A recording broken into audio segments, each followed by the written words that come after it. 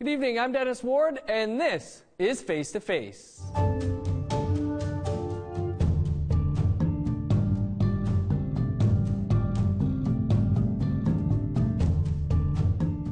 Our guest this week is Stephen Buffalo. Buffalo is a member of Samson Cree Nation south of Edmonton, Alberta. He is the president and CEO of the Indian Resource Council, a group advocating for responsible First Nations energy development since 1987. Stephen, thanks so much for taking some time to join us here. For those unfamiliar with the Indian Resource Council, can you tell us a bit about it? Well, first of all, thank you for having me. Um, really appreciate the opportunity. Um, the Indian Resource Council of Canada was established back in 1983, in and about there. And really, it was about First Nations that had oil and gas potential and had oil and gas reserves on their lands. And, you know, they needed an organization to really advocate for them with not only industry, but with government. Mm-hmm. And uh, it was all learning from there, which, you know, led to the creation of uh, Indian Oil and Gas Canada. And, uh, you know, we're, we're currently now modernizing some of those regulations from the Indian Oil and Gas Act, which is uh, very positive. How many uh, communities do you represent? In about 130 communities, and a lot of them had, uh, like I said, have the potential to produce. They have uh, significant uh, hydrocarbons in the ground that have not yet been extracted, and as well uh, existing First Nations that have been producing over 70 years of oil and gas. And so is this just Alberta or would this be uh, across the? Yeah, this is uh, nationwide across Canada. You know, uh, we, uh, one of our founders was uh, late Ernal Gray from uh, Wamjamajang. I, I can't say the Sarnia area. Okay, yeah. yeah, and, and uh, he was one of the, the, original founders of Indian Resource Council, and it, it, extends right into the, the, East Coast as well. So, you know, we, we do our best to, with, with the capacity we do have to to, to reach out and, and to uh, try to advocate and, and continue to help build relationship for those communities that want to. So, how did you uh, become the president and CEO of the Indian Resource Council? Uh, you know, uh, the opportunity was presented by the chairman of the board of the day.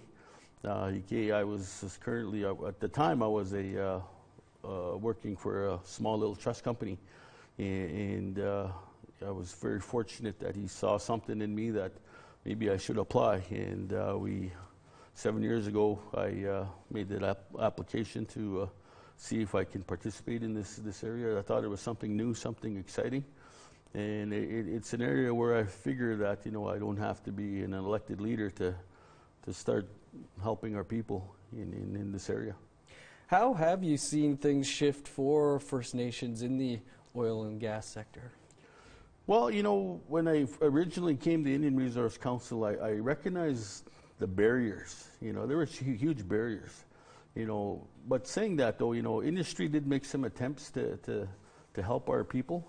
You know, I, I, I, I like referring to Elson McDougall from uh, at the time Western Lakota.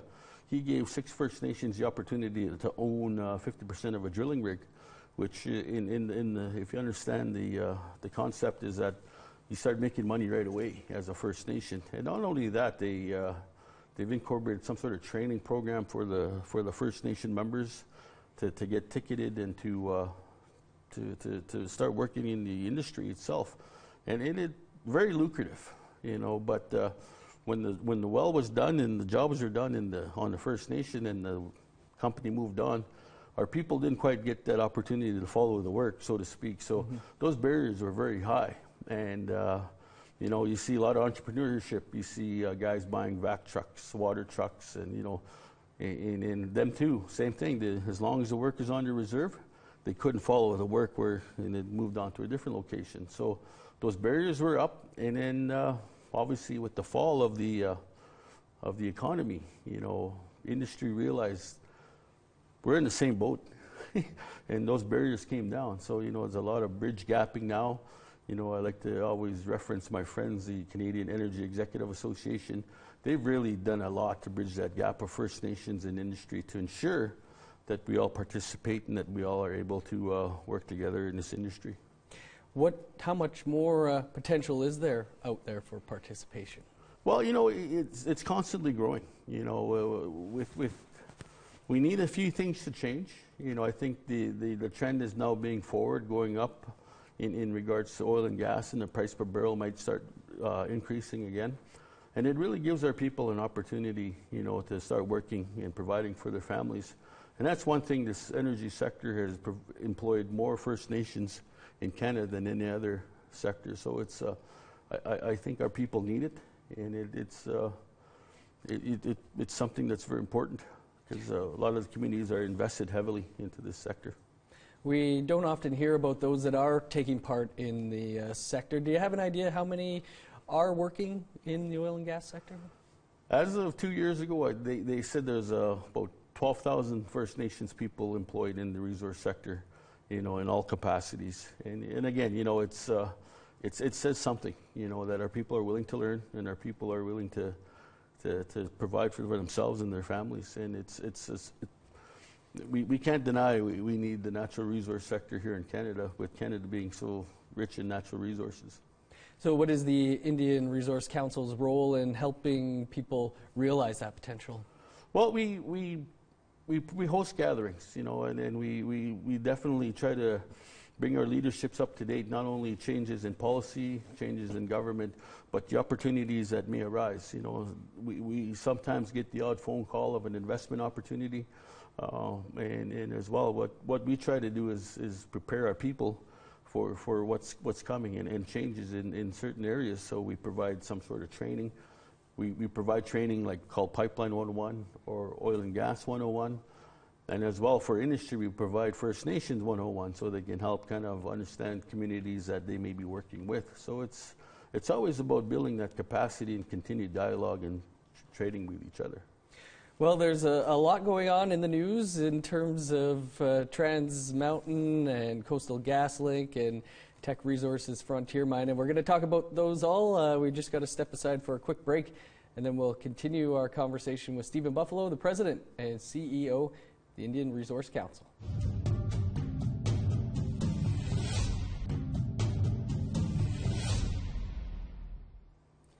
Welcome back to Face to Face. Our guest this week is the President and CEO of the Indian Resource Council, Stephen Buffalo. And Stephen, we hear about the opposition to pipelines and resource development. Do you feel that that opposition is overstated or over, overrepresented? It, it's it's really difficult. Yes, you know, uh, without a doubt, uh, First Nations, oil and gas producing nations are definitely uh, always cognizant of the environment and protecting the environment. And, and what has transpired probably in the last 15 years is the innovation to protect the environment, but yet finding that balance of still continuing to work and making sure that we don't hurt the environment and the water. And, and it's uh, so when when you see this activism, yeah, it's it's uh, it's so much challenging because we don't know who's speaking anymore. you know, there, there, there's all these, uh, these, these issues of uh, protecting water, the climate change, and, and, we need to understand that. We need to continue to build that capacity to ensure that our, our people understand what they're really getting into. And, and I think, you know, uh, given where we're at today, we, we've come a long way. We definitely have, in that uh, you know, uh, we, we have to continue to strive to find that balance of economic development and, and uh, protecting the environment because I, I, think they can both work. Uh, I'm very confident in that uh, because you know, the, the, the, ripple effects of it not happening are, I think, more catastrophic than they are of their, them happening. You know, I, I, have a lot of faith in our youth. I have a lot of faith that they have the, uh, the knowledge, they, they have the intuition, and innovation to, to help continue to work in this sector and, and to protect the environment in, in, in what you're seeing now. So, As we uh, shoot this episode, we see uh, many of those youth and others that are out uh, taking part in demonstrations, uh, blockades, actions uh, in support of the Wet'suwet'en hereditary chiefs who are opposed to Coastal GasLink. Uh, what are your thoughts on what you're seeing? Well, again, I, I, think there's a lot of misrepresentation. Um, of course, we, we want to make sure the environment is paramount. But in the same sense, though, you know, who's really saying this message? And, and when you see 20 elected chiefs give the authorization and that they want to work, they, they want to provide that economic opportunity for, for their, not only their people and the future, of their people. Um, I, I, think that needs to be warranted, you know, and I, I think we have to investigate that thoroughly. Uh, but the hard part again is, is, is who's really pulling the string here. Uh, in, in, in, in my view, based on some of the research that I've seen, you know, there, there is a will that there's uh, to, to landlock Canada's resources, you know, and uh, and then some of our people have been kind of more or less uh, taken involved in that, but spinning it to a for, to a form of, you know, I want to protect Mother Earth, which which is fine, but I, I think they need to really understand the, the, the issues that are truly behind the whole the whole fact of the matter that uh, there is a pipeline. The pipeline, in my view, is safe.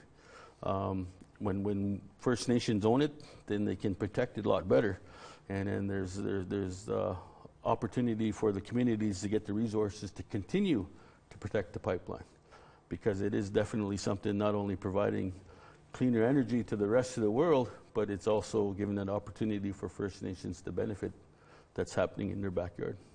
When I spoke with uh, someone from the National Coalition of Chiefs last week, uh, this is a group of First Nation and Métis leaders who are in support of resource development. The, he alleged that people come on reserve and, and, offer hundreds of dollars to people to come out to these uh, protests. Is that uh, something that you've ever heard of?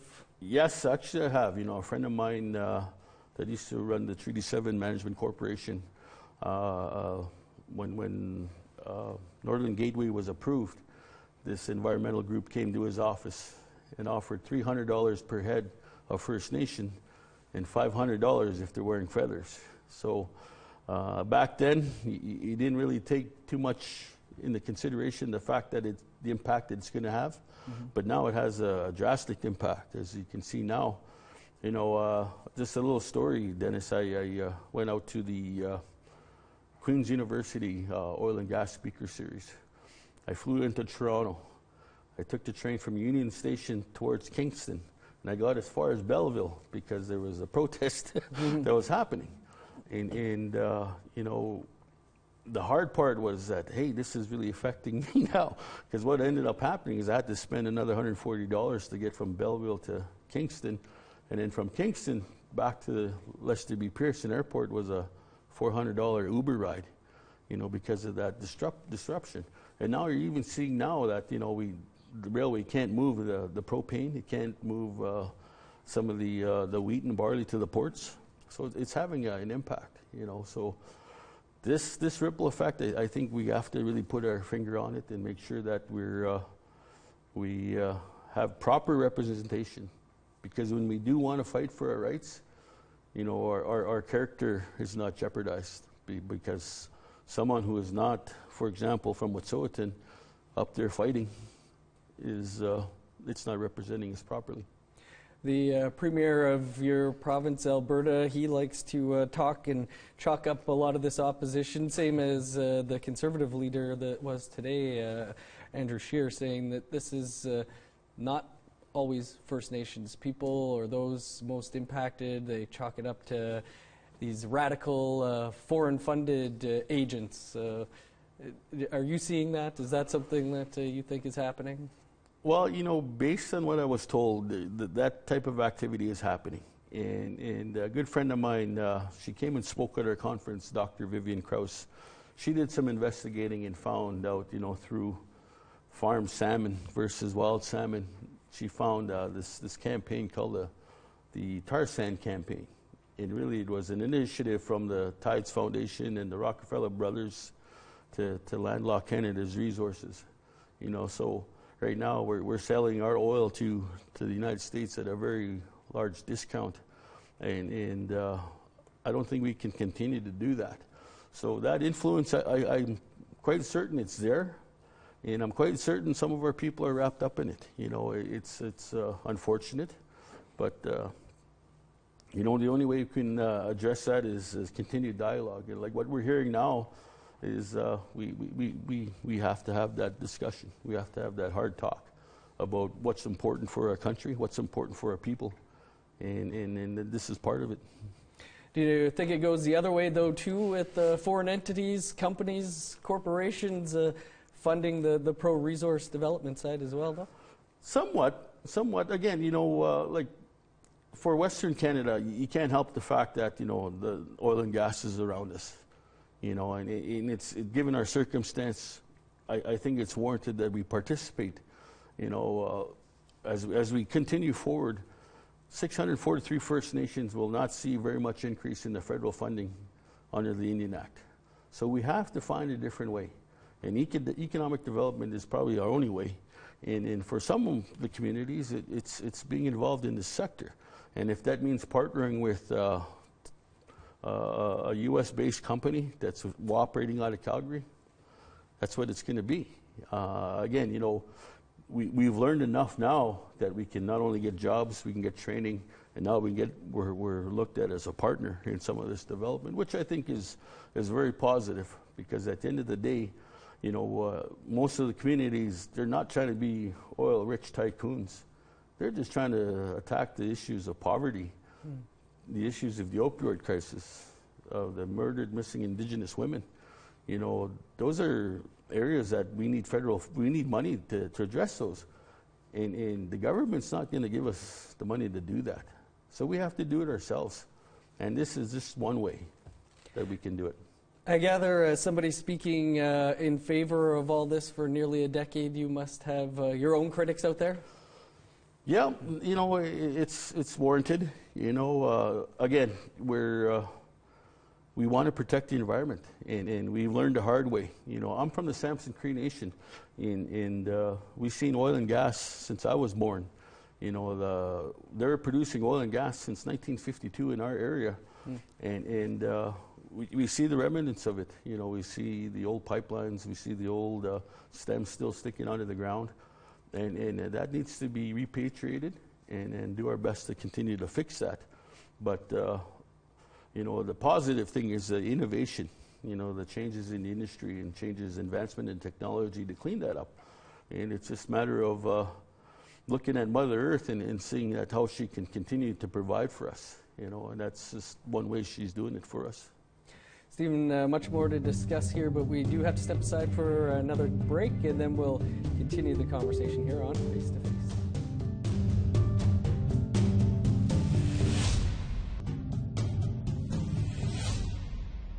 Welcome back to Face to Face. Our guest this week is Stephen Buffalo, the president and CEO of the Indian Resource Council. And Stephen, you know, we see a lot of uh, Indigenous communities sign on to uh, some of these projects, pointed to as they're uh, supporting it. But we also hear that these impact benefit agreements are often signed under duress, or, or you know, that there's no other options. Uh, what's your take on that? Well. the, the, it comes down to the communication piece. You know, uh, again, the impact benefit agreements. Uh, some say that they're they're forced to sign because others have signed on, and and uh, really it comes down to their own capacity. You know, and, and uh, I remember talking to a friend of mine when he when TMX first came out, and he said some of the agreements that the communities got along the corridor were good, and some of them were really good. Mm-hmm. So, it, and then he looked at the community, he saw that you know they had the bigger capacity, more resources to, to get that help, and and you know what, it, it's. Uh, I, I, think that's the opportunity for First Nations to step forward and, and, and really challenge some of those issues, and, and I think you see that right now with. Uh, with the Teck mine and Chief Allan Adam, I know he has some issues in regards to the environment and cleanup. And, and I hope those get addressed. And I know the provincial government has informed everyone that they've been uh, continuous dialogue with, with them. So, you know, uh, and that's what it's really going to take to finish it and fix it all is having that open dialogue. You talk about the cleanup. There's a lot to, to clean up out there, and, and it's not being. Um, you know, how do how do we change that? Well, we uh, have to work together. Uh, I, I, think again, we have to reach out to first uh, to, to the government to help First Nations with that. You know, we, although we didn't ask to be put on these small little reserves, we have to clean it up.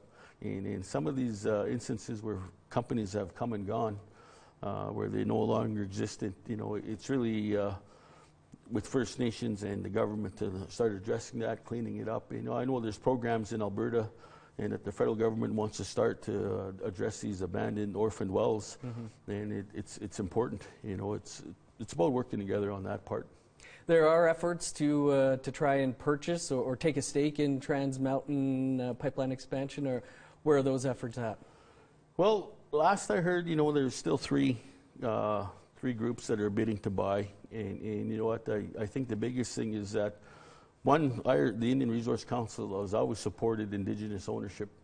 You know, it's very important to the communities. It's very important uh, just for the fact that it's an economic development opportunity. But the uh, last I checked, you know, the federal government's still owning, and, and that there's going to be different purchases coming down, from what I understand. And it's, it's really about the three groups coming together and then trying to unify. I think would be the best model case for, for everyone involved. You know, there's there's different components that each of those groups bring.